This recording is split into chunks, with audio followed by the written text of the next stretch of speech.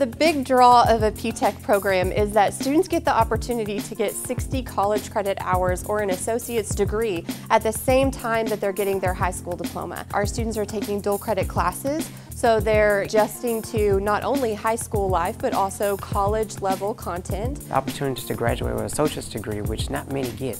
And so I wanted to take that opportunity and get two years of my college done. Uh, what our program offers is the foundational skills in business that can then be applied to a lot of different specialties depending on what career they find themselves in. So marketing, uh, sales, accounting, just to name a few. And then with cybersecurity, it's a huge demand. Industries need to be able to keep their systems safe.